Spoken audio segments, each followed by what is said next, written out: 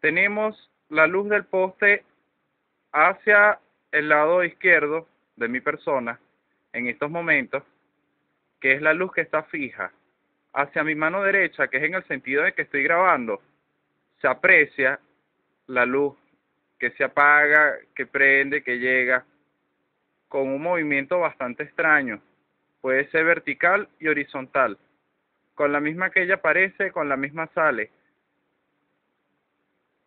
Hago referencia sobre el poste de luz, que es el que está encendido de manera fija, para que tengan referencia de lo lejano y a la altura que se encuentra el objeto volador no identificado, mejor conocido como ovni.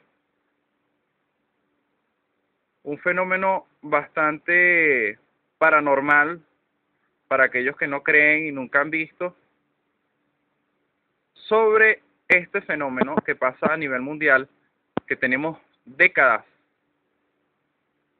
años, siglos. Esta gente nos viene visitando desde tiempos ancestrales desde la época egipcia, cuando los mayas, cuando los incas. Este, en relatos bíblicos sale más que todo en la parte de Ezequiel.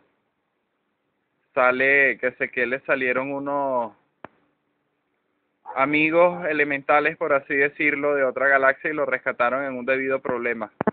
Ahorita no recuerdo mucho en qué versículo sale, pero sí aprecien la luz que es un poco extraño, ahí me alejo un poco y se hace referencia y se ve la diferencia de la luz del poste que es la fija y hacia mi derecha se ve la otra luz.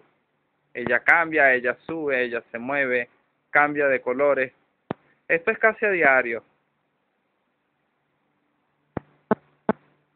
Lo que pasa es que la gente no me cree.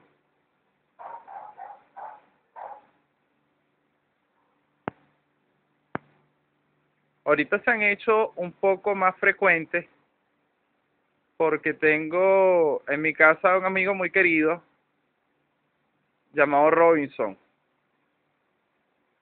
Él me dijo ayer que si yo podía grabar y yo le dije, Robinson, no puedo porque no tengo nada así fuerte, un material de apoyo que me pueda, pero hoy, gracias a Dios, pude grabar y tener cierta documentación fílmica como costa y prueba de que no estamos solos en el universo.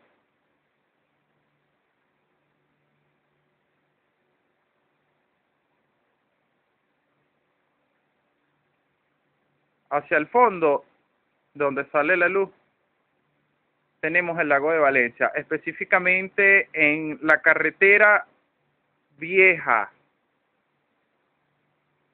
de Guacara, San Joaquín, Mariara, a la altura del municipio San Joaquín. Pasamos la urbanización La Pradera con sentido de Guacara, San Joaquín, específicamente en el sector de La Consolación.